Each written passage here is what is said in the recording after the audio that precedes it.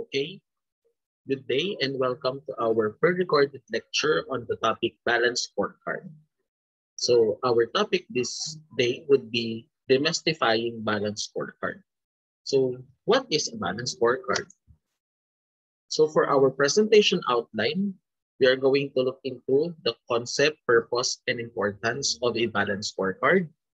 Number two, we are going to learn what are the kinds and uses of balance scorecard. Number three, what are the perspective of the balance scorecard?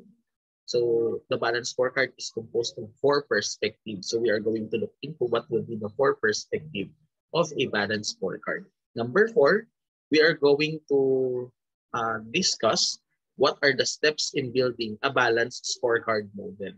Okay, so paano tayo makakagawa ng isang model ng balanced scorecard.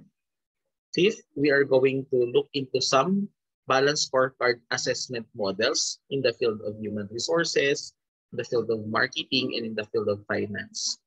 Last but not the least, we're going to look into the challenges of implementing a balanced scorecard as well as the legal, ethical, and biblical perspective of the balance scorecard. So we are going to um, give some implications, which includes the legal, ethical, as well as the biblical perspective of a balance scorecard.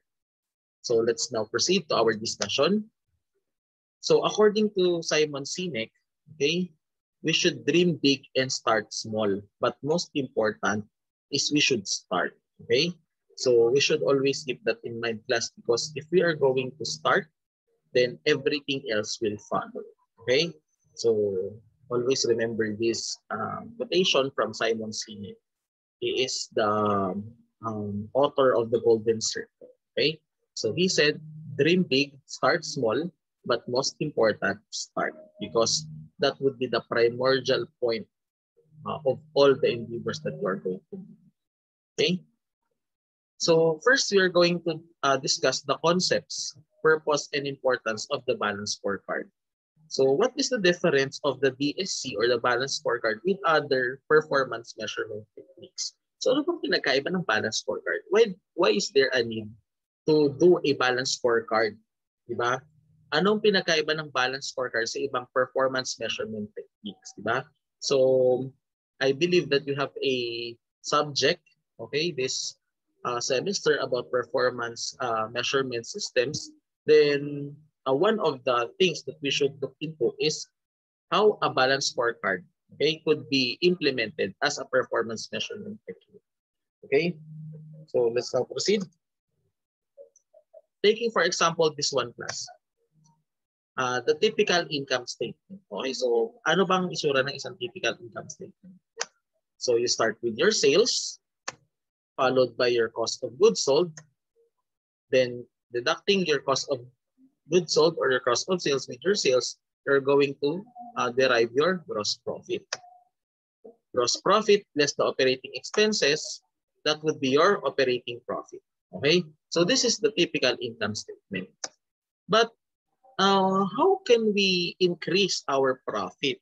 Diba? That is one of the reasons or yan ang isa mga gustong gawin ng isang business paano natin mapapataas ang ating profit. Okay? So, one reason is we could increase our sales. Okay? So, increasing sales um, theoretically will result in higher profit. Ano pa pwede natin gawin? Ano pa pwede natin gawin guys?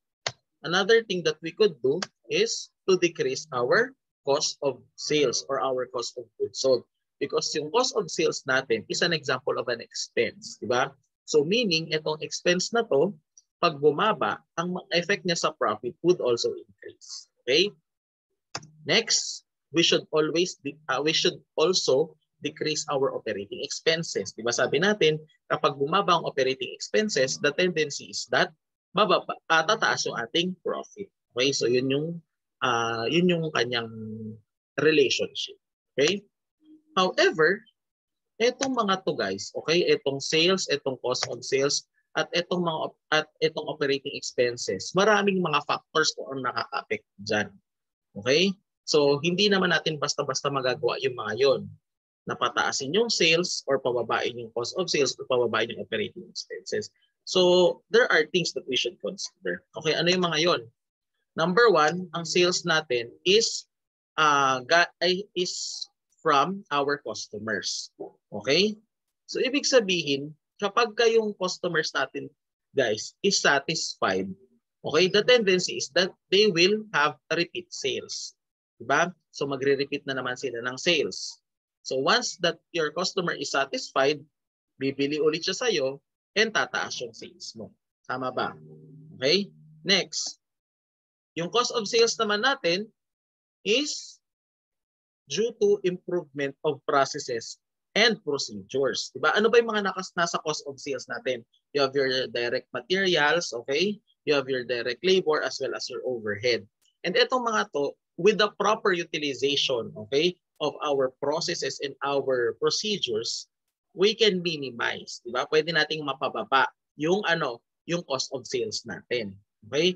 If, eh, example, yung materials natin. Kung dati, marami tayong waste, okay, marami tayong waste or marami tayong mga spoilage, kapag ka na-improve natin yung processes and procedures, ang mangyayari is that ano, yung cost of sales natin bababa. Kasi nga, yung mga yon nasasama, di ba? Nasasama siya sa cost of sales. Lalong-lalo na kapag ka mga normal loss, yung mga uh, ano na yan, yung mga waste na yan, di ba? So the tendency, pag na paganda natin yung ating process and, processes and procedures, bababa yung cost of sales natin. Okay? Next, yung operating expenses naman natin. Saan ba natin kinukuha ang operating expenses? Ano ba mga example ng operating expenses natin? You have your salaries, di ba? Salaries and wages. You have your, uh, ano pa ba? Ano pa ba yung mga expenses ni salaries and wages na admin, di ba? Selling, admin, general expenses, di ba? So, uh, kapag kayo mga uh, mga empleyado natin, okay? Yung mga empleyado natin, they are satisfied, okay? The tendency is that uh, makaka-contribute sila sa employee growth or magkakaroon sila ng employee, employee growth, di ba? And also, kapag uh, nag-improve tayo ng processes and procedures, the tendency is that bababa din yung ating operating expenses. Okay? So kung nakita nyo guys, di ba? Itong mga, itong different na mga uh, factors, okay? Kung saan nakaka-apekto yung profit is may kinalaman pala siya, di ba? Sa employees growth, sa improvement of processes and procedures, as well as sa customer satisfaction. Okay? So, etong mga talk guys, okay? Yung profit, okay? Yung operating profit natin. Number two, people. And number three, our planet. Ito yung ating triple bottom line. Diba? Nakita naman natin, the operating profit, that is our first bottom line. Ang second uh, bottom line natin would be people and ang third bottom line natin would be our planet. So that is sustainability, di ba?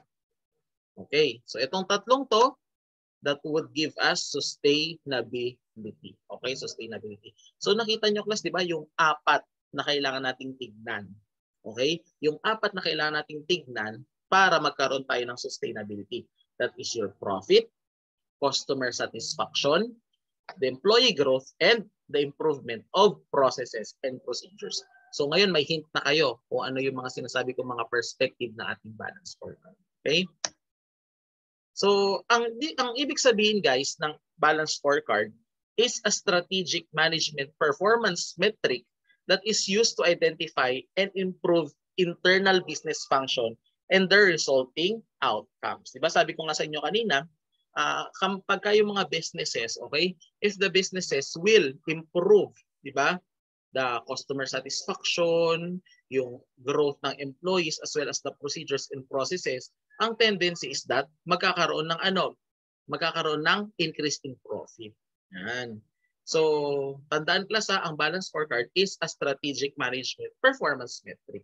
So, itong concept na to guys is nanggaling kay Dr. Robert Kaplan at kay David Norton. So si Kaplan at saka si Norton, they are the proponents of the balance scorecard. So they developed the balance scorecard as a performance measurement framework. Okay? So they proposed the balance scorecard to be a performance measurement framework which means that it would be used for a business to measure the performance. Okay? Pero anong pinagkaiba nito sa ibang performance measurement? Di ba last, uh, last, dun sa last chapter, pinag, diniscuss natin yung uh, how are you going to analyze the profitability of the business, di ba? So nagbigay tayo ng uh, computation ng return on investment, okay? ng residual income at saka ng economic value added. So yung tatlong yun, kung titingnan nyo guys, they are financial in nature. Okay? They are financial in nature. Kasi nga lahat ng ginagamit natin doon would be ano, would be uh, coming from our financial statements. Okay? So sa balance scorecard, okay, sa balance scorecard, they added what you call non-financial metrics. Okay? Non-financial metrics. So the balance scorecard added non-financial metrics to the traditional financial metrics, di ba? So traditional kasi ROI, RI, tsaka yung EVA. So they added non-financial metrics so that it would give a more balanced view of an organizational performance. So meaning the balance scorecard will measure both ano financial and non-financial metrics of an organization. So kung makikita nyo class, di ba, this is closely related to sustainability. Kasi hindi lang natin tinitingnan yung traditional na financial, okay, financial uh, metrics. Okay, but we include other non-financial metrics. So that is the balance scorecard. So what are the kinds and uses of a balance scorecard? So we have two, okay, we have two uh, types of balance scorecard. The first one is the operational balance scorecard. Okay? So the operational uh, balance scorecard is used so that you could get a grip on what is going on in the organization. So pag sinabi nating operational balance scorecard, ito yung sa short term natin. Di ba? We are just going to use this operational balance scorecard so that we could look into what is happening daily okay in the organization. So usually ito ginagamit natin for short term. Okay, short term uh, performance management. However, Kapag ka ang ginagamit naman natin is the strategic balance scorecard, okay? This uh, balance scorecard is trying to focus the organization on its strategy and measure the progress of the strategy. Diba? So ito, hindi na lang to short term but more on the long term perspective. So ang tinitingnan natin dito is whether or not the strategy of the business is ano, is good or is failing, di ba? So the strategic balance scorecard measures, okay, or evaluates, di ba? It measures or evaluates the progress of a specific strategy. Okay? Of a specific strategy. So that is the difference between an operational balance scorecard and a strategic balance scorecard. Usually guys, ang strategic balance scorecard is um what they call this one is being uh ano tawag mo dito? Uh, ginagawa siya, okay? Or it is prepared on the planning process of the business. Okay? Planning process of the business. Okay? So what are the different uh, uses of the balance scorecard? First, okay, the balance scorecard articulates the sequence of cost and effect relationship. So pinakita ko sa inyo kanina, di ba? Yung sales, it is connected with customer satisfaction. Di ba? Yung, yung pagbaba ng uh, cost of sales could be uh, from the improvement of processes or could uh, could be used, okay, or could be um, linked, di ba? Or could be linked to the growth of the employees. So there's a cause and effect relationship, okay? Through linking perspective from strategy formulation to help, okay, to communicate to all members of the organization by financial outcome. Okay, so lahat yun nagtuturo papunta sa financial outcome. So also, the balance scorecard is a measure of translating strategy into coherent link set of understandable and measurable operational targets. Okay, so sabi natin kapag sa strategy, this is just uh, statements. Okay, sa balance scorecard, we are going to give okay uh, uh, understandable and measurable operational targets. Okay, so later on, I'll present to you a sample balance scorecard and okay, and we are going to look into kung ano yung mga measurable targets na nakalagay dito. Okay? So kailangan magkaroon muna ng strategy yung isang business so that it could or we could link it to the targets. Third is uh, the balance scorecard places strong emphasis on financial objectives. Okay? Financial objectives pa rin naman class. However, it measures with non-financial measures. Okay? So the financial measures are used as leading indicators. Okay? So nakita nyo class ha, ang, ang, ang gusto pa rin naman ng business is to generate profit. However, okay, however, nililink natin ito sa ano? Sa sa non-financial measures because the non-financial measures are used as leading indicators. Okay? These are used as leading indicators for future financial performance. Okay? For future financial performance. Okay. Next, uh, the balance scorecard class also limits the number of measures by identifying only most critical ones. Okay? So dito na ulit pumapasok yung materiality level natin. Okay? So hindi lahat ng measures ilalagay. Okay? Ang ilalagay lang natin dito would be the most critical one or those that could identify or could uh, translate our strategy into targets. Last but not the least, the balance scorecard guys highlights less than optimal trade-offs taken, taken that hurt future financial performance by failing to consider operational and financial measures together. Okay?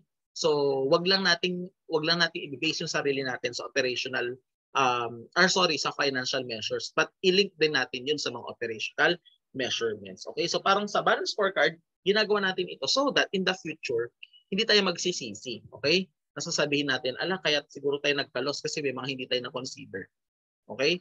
Kasi nga class, minsan blinded ang mga companies pag ang ginagamit nila ay financial measures. Okay? Pag financial measures lang. Okay? So those are the different uses of the balance scorecard. Next, okay, ito na pag-aaralan natin ngayong apat na perspective ng balance scorecard. So the different perspective class of the balance scorecard, okay, is uh, could be derived from this uh um tawag mo dito, parang uh, flow chart. Okay? So the vision of the company would be translated into the strategy. Okay? So yung vision kasi that is a one statement, okay? Which uh, pertains to ano ba yung gusto makita ng business in the future. Okay? So para ma ano natin yun guys, para ma-achieve natin yun, we are going to develop strategies. And yung strategies na to ay are long term, okay? Are long term courses of action so that the business could achieve the vision. Okay? The vision of the company. And these strategies guys are for, are further um broke broken down into goals and objectives. Ang mga goals and objectives are short-term na mga ano, mga targets. Okay? Usually, andyan yung sinasabi natin na they are SMART. Uh, ano yung SMART? S for ano? Specific. M for measurable. A for attainable. R for realistic. And letter T for time-bound. So lahat na yun guys, okay? Uh, more specific siya kaysa sa strategy. Okay? And these goals and objectives would be ano, number one, how do customers see us? Diba? So yan yung mga strategies natin. Paano ba tayo tinitingnan ng mga customers? Number two, what must we excel at? So saan ba tayo dapat magaling? Number three, can we continue to improve and create value? And number four, how do we look to shareholders? So usually guys, yan yung mga ano, yan yung mga ginagamit natin when we are see, when when we are setting goals and objectives for a company. So dyan magmumula guys yung mga perspective natin. So we have what we call the perspective. First, we have the profit. Second, we have customer satisfaction. Next, we have employee growth. And next, we have the improvement of processes and procedures. Okay? So yan yung ating mga goals and objectives. Profit, customer satisfaction, employee growth, and improvement of processes and procedures. Okay? So with those four, okay, with those four objectives, nandiyan yung mga perspective natin. At ang mga perspective ng balance scorecard, we have financial, we have the customer perspective, we have the learning and growth perspective, and we have the internal business process perspective. Okay, so apat yung perspective guys ha.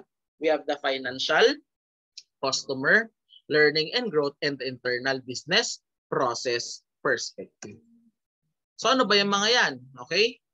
The four perspective guys would be ano would be summarized dito sa sinasabi natin, di ba? When we talk about financial perspective, ito yung mga profitability measures natin. So lahat guys na nagme-measure sa profitability or sa financials ng isang business would fall under the financial perspective of the balance scorecard. Okay, so that is be that is very self-explanatory, di ba? Basta may kinalaman sa pag-measure ng financials ng isang business, then it will fall under the financial perspective. Second, we have the customer perspective. The customer perspective class will look into the different market segment measures of the company.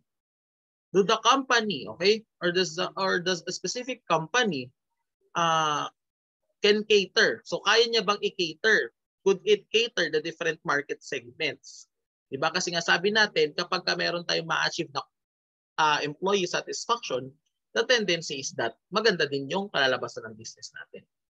Next, we have internal business process perspective, which will look into creating value for our stakeholders through number one, innovation process, next, operations process, and post-sales service.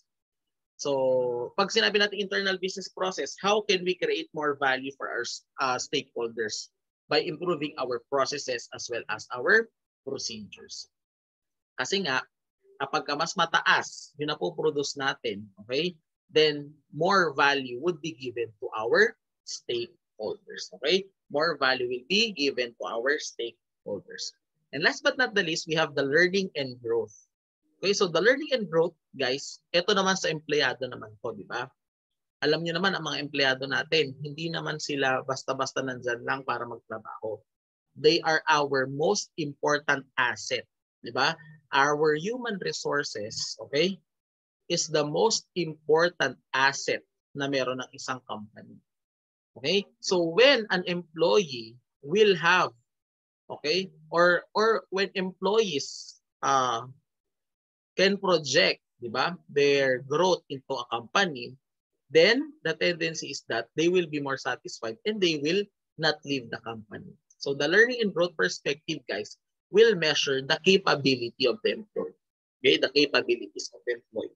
And paano ma-measure yan? Through training. Okay? Through trainings and seminars. So yan yung four perspective ng ating balance scorecard. So kung makikita nyo guys dito, hindi lang tayo nag-focus sa financial, di ba? Though yun naman yung end goal talaga natin. Okay? Pero tinignan natin yung mga iba't iba pang factors na makaka-apekto sa profit natin. Okay? So, nandyan yung customer perspective, yung internal business process perspective, as well as the learning and growth perspective. Okay? Next. What are the different steps in building a balanced scorecard model? Okay? So, ito yung very, very ano class, very uh, important. Okay? So, pag alam na natin kung ano ang balanced scorecard, then we should be uh, able, okay, also to prepare a specific balance scorecard. Okay, so what are the steps? Number one, we should have our objectives. Okay? The objectives, it should be carefully set. Okay? Kasi nga guys, ang objectives natin, okay, galing ito saan kanina? Galing ito sa ating strategies. Okay? At ang strategies naman natin ay galing naman sa saan? Galing sa vision. Okay? So kailangan nakatahi lahat 'yan. Okay? It should be carefully set yung ating mga objectives. Okay? Number two, pag meron na tayong objective, kailangan nating makakuha ng isang bagay kung paano natin mame-measure yung objective na yon. Diba? Kunwari, ang objective natin to get 10% return on sales. Okay? So, we we should have a measure okay, on how we are going to um, quantify kung na-meet or na-hit ba natin yung na-hit or na-miss ba natin yung objective niyo. Sabi nga natin, what gets measured gets done. Okay? So if you could not measure it, then the tendency, hindi mo alam whether you hit or miss that specific objective. After uh, getting the specific measure, okay, we need to have the initiative and the actions. Okay, itong initiative and actions na to, ito na yung gagawin ng isang business. Okay, so that the objectives could be attained. Okay, kaya nga, ito yung tinatawag natin na implementation stage. Okay? We are now going to implement yung mga objectives na sinet natin. Okay? After which, meron tayong target performance that would be done during the planning. So, ito yung mga targets natin. Di ba? Ito yung objective natin. So, meron tayong target and meron tayong actual performance. The actual performance would be on the controlling part of the management. Okay? So, planning, dun yung target. Then sa actual performance, in yung controlling. So we are now going to compare the target performance of the business with the actual performance. Okay? So doon na natin titignan whether the company or the specific division hit or miss its objective. Okay? So yan guys ha, yan yung steps natin kung paano tayo makakapag-build ng isang balance scorecard. Okay? So first, we should carefully set our objectives. After that, we are going to attach uh, measures on how we are going to quantify those objectives.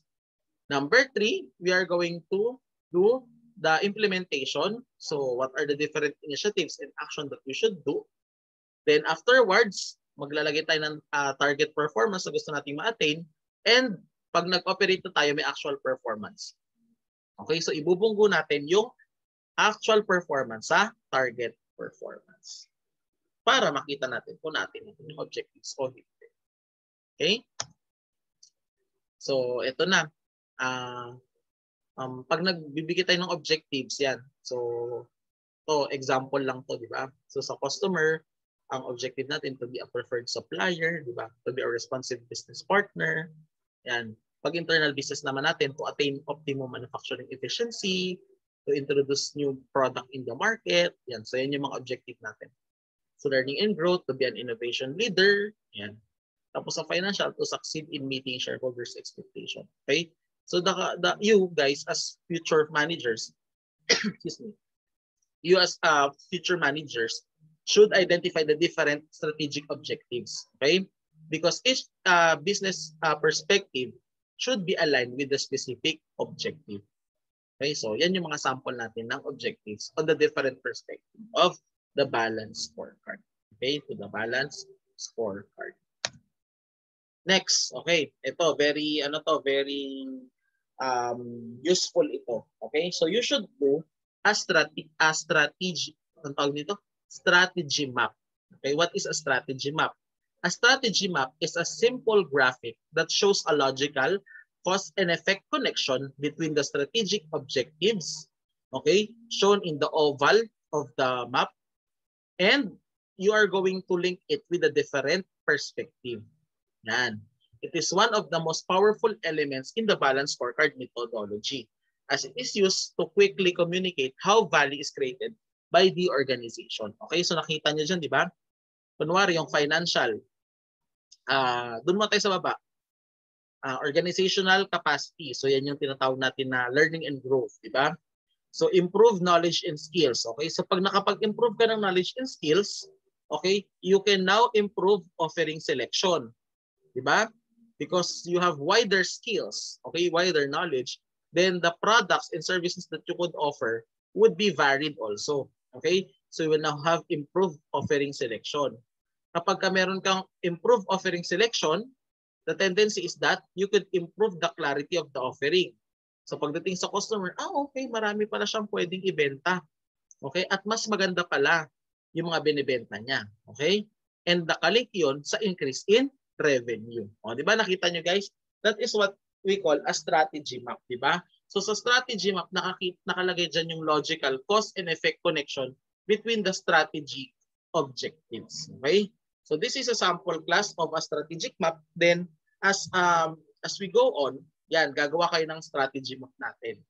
Yan, so doon sa final requirement niyo sa akin, sa isang corporate strategic audit, you should be able to create a specific or a simple strategy map. Okay, a simple strategy map. Okay, next. Uh, you should also specify the metric that will be used to evaluate each success measure in the strategic objective. O katulad niyan, uh, nakalagay diyan yung ano natin, yung strategic objective natin, di ba? Ang, ang perspective natin under customer is to be a preferred supplier. O yun yung strategic objective natin. So ano ang measurement um, measurement um what we call this one performance measurement na mag uh, magpapakita whether or not na-meet natin 'yun, di ba? So market share to key customers, di ba? So lalagay natin diyan uh, kailangan meron uh, yung uh, mag mag me-measure ng ating objective na 'yon is yung market share to key customers. Okay? Okay, sa financial naman, di ba? Ang gusto natin is to succeed in meeting stake stakeholders or shareholders expectation. So ano yung mga performance measurement na pwede natin ilagay? So pwede nating ROI or EPS. Okay? Pero mga guys, yung mga yan is only met metrics. Okay? later on pa natin isi-set kung ano yung ano, yung ating specific target na gusto natin. Okay? So nakita niyo na ha, may perspective, may strategic objective, tapos merong performance measurement. Okay? So that those are the different steps in building a balanced scorecard model. Okay? So i-follow niyo lang yung five step na yun from the objective to the measurement, di ba? Tapos kung ano yung um, implementation stage na, tapos kung ano yung mga gusto niyo ma-meet. Okay? So lahat 'yon i-compile niyo para magkaroon kayo ng isang balanced scorecard. Okay? Ang balanced scorecard guys, ginagamit natin ito para pang-measure ng performance, di ba? So kailangan may mga measures doon or may mga metrics doon na magme-measure ng performance. Okay? So, sa, these are some of the balanced scorecard assessment frameworks. Okay? So, kunwari sa HR department. Okay? Sa HR department, may tinatawag tayong HR scorecard. Okay? Or Human Resource Scorecard. So, this HR scorecard was published by Becker, Huselit, and Ulrich in 2001. So, this helps uh, the HR department to measure, manage, and improve the strategic role of that specific department. Okay, so makikita nyo dyan, andyan yung kanilang mga uh, tawag dito, strategy map. Di ba? Ang main strat- strategy nila is to be the most in, uh, most innovative organization in the sector. Okay? So, ano yung mga gusto nila mangyari? So, under employee growth, uh, gusto nila, they could hire more qualified professionals. Sa financial naman, they could decrease recruitment costs. Diba? paano magde-decrease ng recruitment cost? Ibig sabihin, dapat hindi mabilis ang turnover ng empleyado. Diba? Baka naman yung ibang empleyado, pagpasok pa lang, after 3 months, resign. Kukuha na naman, after 2 months, resign. Diba? So the cost of recruitment tumataas. Diba? And sa process, diba, um, sa pag-hire nila, sabi nila they would like to decrease lead time. Ibig sabihin, kailangan kapag ka nag, na, nag, uh, lagay, nag, nagbigay ng application, dapat ilang time lang yung matatapos para makapag-hire sila. Okay? And they would like also to be more attractive employer. So syempre kapag maraming mga businesses na naghahanap ng empleyado, kailangan may mga employers na ano, na mag maging mas attractive kaysa sa iba.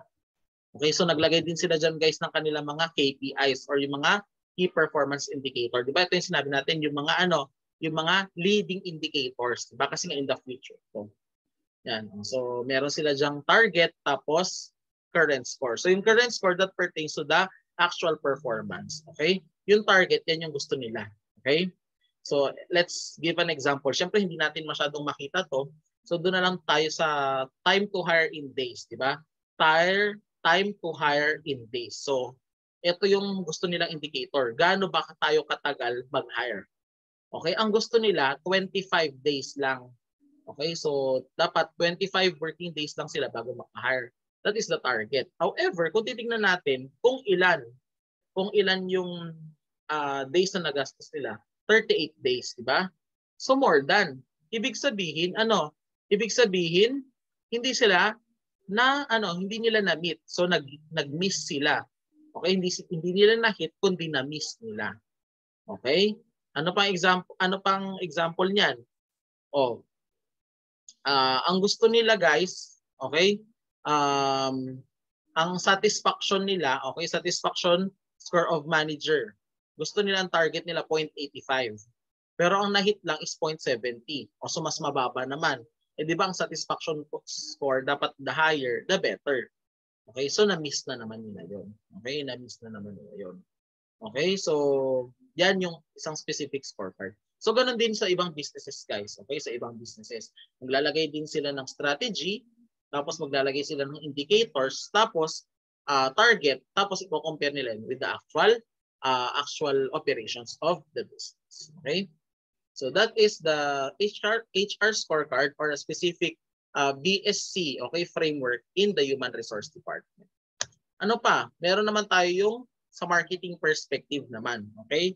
So this is from uh, ITSMA, okay? This is the service services marketing balance scorecard.